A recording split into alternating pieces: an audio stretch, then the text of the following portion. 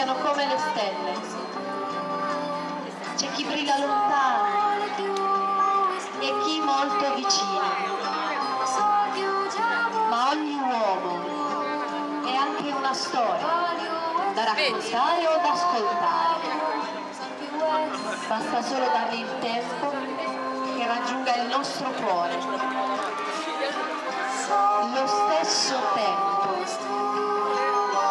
che serve alla luce per raggiungere i nostri occhi. Ah,